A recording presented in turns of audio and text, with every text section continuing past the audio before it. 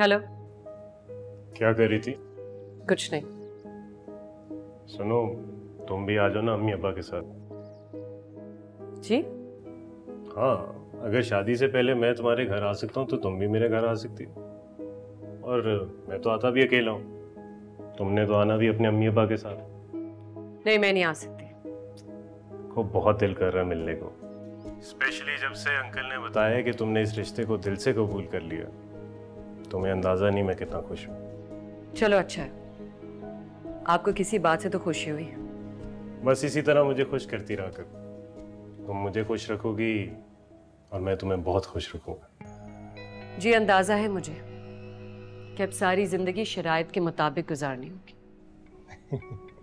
शर्त नहीं है ये। ये तो सीधी सीधी सी बात है। तुम मुझे खुश रखोगी और मैं तुम्हें खुश रखूँगा। दैट्स इट कोशिश करूँगी कि आपको कभी नाराज़गी का मौका ना दूँ। तो फिर आ जाओ अम्मी अब्बा के साथ। मैं वेट करूँगा। बाय किसका फ़ोन था?